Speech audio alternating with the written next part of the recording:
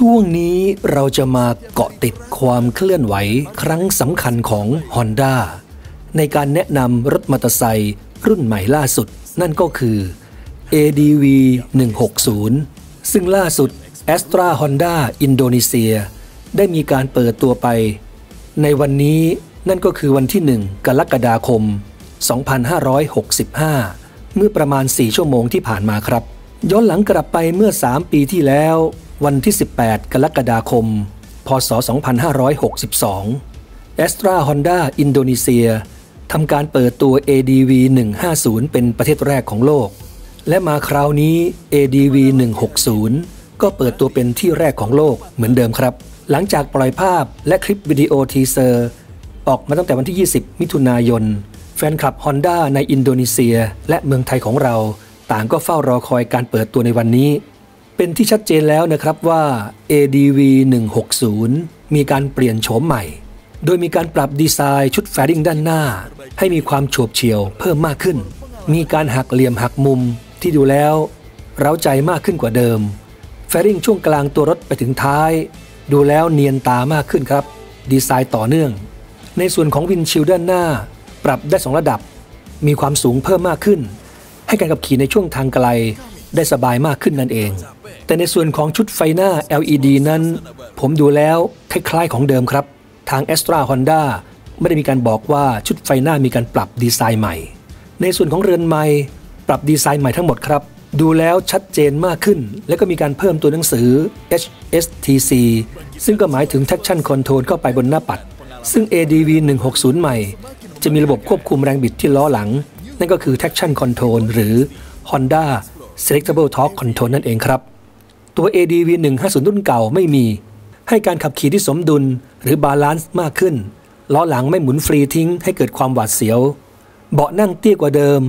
780มิลิเมตรของเดิมนั้น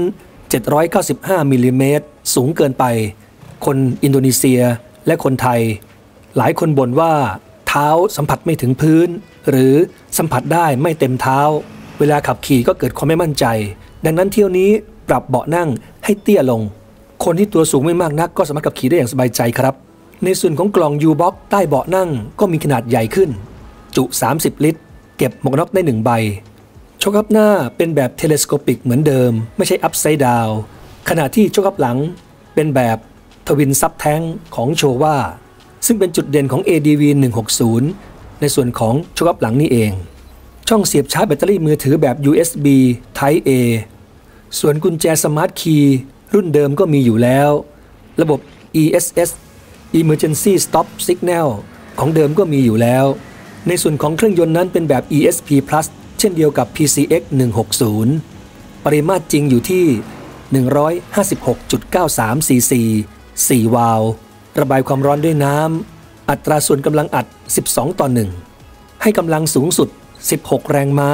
ที่ 8,500 รอบต่อนนาที แรงบิดสูงสุด 14.7 นิวตันเมตรที่ 6,500 รอบต่อนาที มี 3 สีให้เลือกใช้ก็คือสีแดง สีดำ และสีขาว สเปคของอินโดนีเซียนั้นจะมี 2 แบบให้เลือกใช้ก็คือ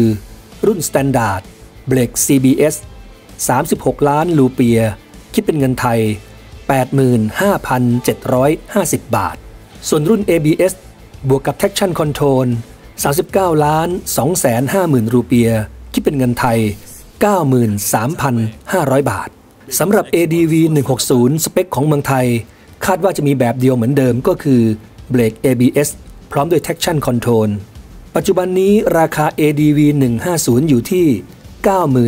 98,900 บาท ก็จะแพงกว่าที่อินโดนีเซียไม่มากนัก จากนี้ไป